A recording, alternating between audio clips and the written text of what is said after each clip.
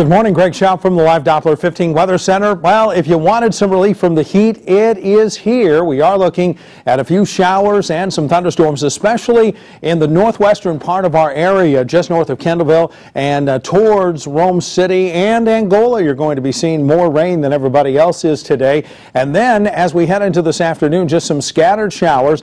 Uh, those scattered showers into tonight as well. Not a whole lot out there overnight or even today for that matter matter, and we will see a chance of a few showers on Friday as well. The Gordon moisture stays towards the west for right now, but could move into the picture late Saturday and early Sunday. Still, a lot of uncertainty with that. Temperature is going to be into the upper 70s today. Overnight lows in the upper 60s.